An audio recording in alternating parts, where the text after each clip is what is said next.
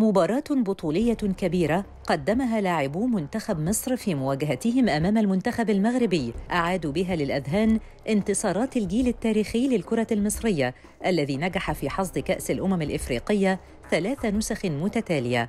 وصار مجرد ذكر اسمه يبث الرعب في نفوس الخصوم. وعلى الرغم من تقدم المغرب في بداية المباراة عن طريق ركلة جزاء سجلها سفيان بوفال والقرارات العكسية التي احتسبها الحكم السنغالي إلا أن نجوم الفراعنة نجحوا في العودة إلى المباراة وسيطروا تماما على مجريات اللعب وكانوا الأفضل طوال مدة المباراة التي تخطت حاجز الساعتين ليتمكنوا عن طريق خبرات ومهارات محمد صلاح من إدراك هدف التعادل قبل أن يعود ثالث أفضل لاعب في العالم ويصنع الهدف الثاني للفراعنة بعدما وضع تريزيجي وجها لوجه أمام مرمى المنتخب المغربي الخالي من حارسه ياسين بونو. مباراة اليوم أثبتت أن منتخب مصر يمتلك مجموعة مقاتلة من اللاعبين يقودهم البرتغالي كارلوس كيروش الذي نجح في العبور بالفراعنة إلى المربع الذهبي للمرة الأولى منذ بطولة 2017 وذلك على الرغم من المطبات الصعبة التي واجهت الفراعنة خلال اللقاء.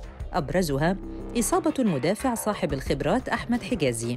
بالإضافة إلى خروج محمد أبو جبل حارس المنتخب مصاباً ليحل الحارس الشاب محمد صبحي بديلاً له ويذود عن مرماه ببسالة وشجاعة تحسب له. مباراة أكثر من رائعة على المستوى الفني والتكتيكي قدمها نجوم مصر. ليطيحوا بالمنتخب المغربي أحد أبرز المرشحين بالبطولة ضاربين بذلك موعداً نارياً مع الكاميرون أصحاب الأرض والتنظيم.